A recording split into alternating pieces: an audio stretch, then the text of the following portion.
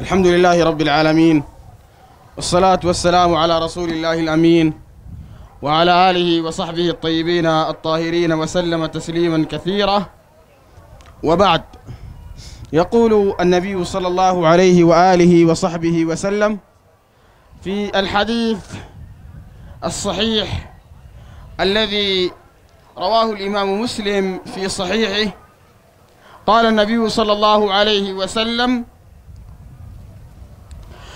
من مات وهو يعلم أنه لا إله إلا الله دخل الجنة. ويقول الله سبحانه وتعالى في كتابه العزيز إلا من شهد بالحق وهم يعلمون. ويقول أيضا سبحانه وتعالى مخاطبا رسول الله صلى الله عليه وسلم فاعلم أنه لا إله إلا الله. هذه النصوص وغيرها من مات وهو يعلم. تفيد أن لا إله إلا الله لا تكفي أو لا يكفي مجرد القول. لأنه في ناس كثيرة في مجتمعنا ده يقول لك يا أخي ديل بيقولوا لا إله إلا الله. ديل يا أخي الشرك بيقع فيهم. ديل بيحصل فيهم شرك ديل بيحصل فيهم كفر. نقول له نعم. لأنه القول لا يكفي. لأنه في ناس كثيرة قالوا لا إله إلا الله وما نفعتهم بشيء. وعندك المنافقين. المنافقين دي كانوا مع النبي صلى الله عليه وسلم بيقولوا لا إله إلا الله وصلوا معاه لكن هل مجرد القول باللسان بينفع؟ ما بينفع. إلا معه حاجات ثانية وهنا ذكر النبي صلى الله عليه وسلم قال وهو يعلم. تعرف معنى لا إله إلا الله. وده للأسف كثير من الناس الليلة تقول لي تعال هنا لا إله إلا الله معناها شنو؟ ما عارفه يقول تلقاه يقولها القول بتاع اللسان ده يقولها لكن يدعو غير الله. ويسأل غير الله ويستقيس بغير الله ويلتجئ لغير الله. نقول له والله ده يا جماعة ده فيهم لا إله إلا الله. الزول اللي بيسأل غير الله ده ما عرف ذاته. ما عرف إنه معنى لا إله إلا الله لا معبود بحق إلا الله. لا إله إلا الله تقول لا إله إنت أبطلت جميع الآلهة. أي إله؟ رسول. ملك جن إنس ولي غير ولي؟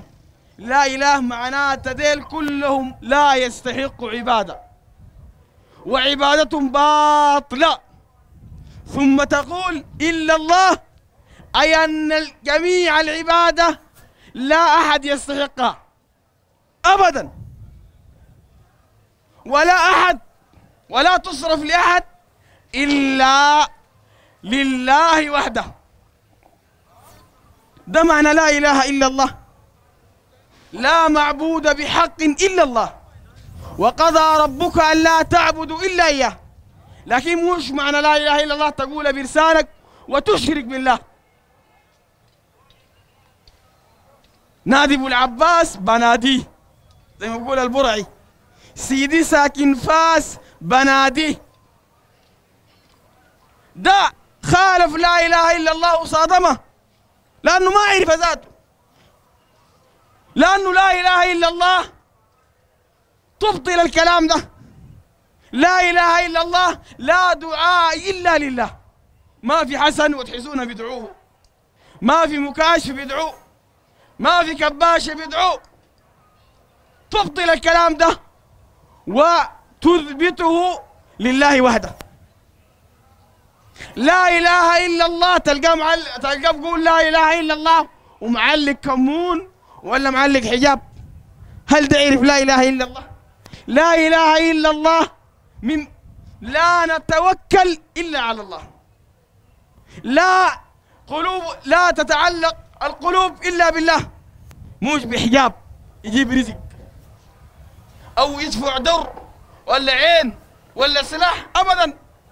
كما قال الله تعالى وعلى الله فليتوكل المتوكلون وعلى الله فليتوكل المؤمنون. لا إله إلا الله أن تصرف جميع العبادات. تتوجه. لا ترجو ما ترجو قبة. ما تخاف من قبة. ما بتسوى الحبة. أليس الله بكاف عبده؟ ويخيفونك بالذين من دونه ومن يضلل الله فما له من هاد. تلقاه خايف من دلقان. بيان بتاع شيخ تلقاه والله عامل إرهاب له للناس دي كلها. ده ده يعرف لا إله إلا الله. فالناس محتاجة تعرف لا إله إلا الله. تعرف معناها أي أن العبادة كما بتصلي لله يجب أن تدعو الله وحده وتستغيث بالله وحده وتسأل الله وحده وتتوكل على الله وحده. وللأسف كثير كثير صرفوا هذه العبادات لغير الله. يصيحوا للموتى بناديهم بناديهم في كل قضية بناديهم. في الليلة الهادي بنادي سيادي جملة وفرادي. والله شوف تناديهم في الليلة الهادي في كل قضية. أول حاجة أنت مشرك وما بسوي لك حاجة. ربنا قال ومن أضل ممن يدعو من دون الله من لا يستجيب له إلى يوم القيامة. يعني لو عشت ليوم القيامة بتنادي فيهم تلحقونا وتفزعونا يا حسن وتحسونا يا البادراب أبو قراب وغيره. شوف ربنا قال ليوم القيامة بتنادي ما بيجوبوك ولا عنده لك شيء. من لا يستجيب له. ده ربنا قال. إلى يوم القيامة وهم عن دعائهم غافلون. وإذا حشر الناس بعدين كانوا لهم أعدان وكانوا بعبادتهم كافرين. يا أخي ربنا بيقول للنبي حتى الرسول صلى الله عليه وسلم لا يستحق أن يعبد. ما بيستحق تقول يا الله ويا رسول الله تساوي الله الخالق بالنبي صلى الله عليه وسلم المخلوق العبد. تساويه بالمعبود سبحانه وتعالى. لذلك ربنا قال ذلكم الله ربكم له الملك.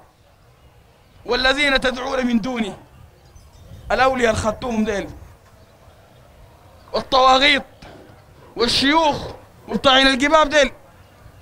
الله ولا دون الله والذين تدعون من دونه دونه سبحانه. ما يملكون من قطمير إن تدعوهم لا يسمعوا دعاءكم. لو دعيته ما بيسمعك شيخك ده ما بيسمعك طب ولا حتى الرسل ما بيسمعوا. ابدا. دون الله ما بيسمعك ولو سمعوا.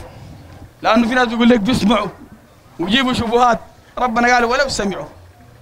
ما استجابوا لكم. ويوم القيامة يكفرون بشرككم.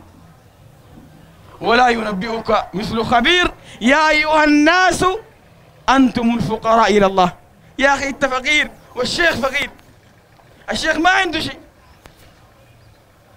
الشيوخ وكل الناس بما فيهم الأنبياء والصالحين وغيرهم فقير يا أخي. تخلي الغني والله هو الغني الحميد. ضع أقول يا جماعة. خلي دي خلي الدين. ده أقول تخلي الغني سبحانه الخالق المدبر وتمشي للفقير والله هو الغني الحميد. فالمسلم يعرف لا إله إلا الله ويتعلمها دي علم عشان كده ربنا قال للنبي فاعلم أنه لا إله إلا الله. تتعلمه شروطه وأركانه ونواقضه. تتعلم لأنه دي النجاة شفت التوحيد اللي بينجيك وتمشي لله بعقيدة. والله ولو عبادة واحدة. صرفتها لغير الله. والله انتهيت. إنه من يشرك بالله فقد حرم الله عليه الجنة. حرام. ومأواه النار وما للظالمين من أنصار. فالإنسان ينقي ويتعلم ينقي عقيدته ويتعلم لا إله إلا الله. حتى يسير إلى الله بالتوحيد وبإخلاص العبادة والدين لله. لأنه ربنا ما بيقبل دين.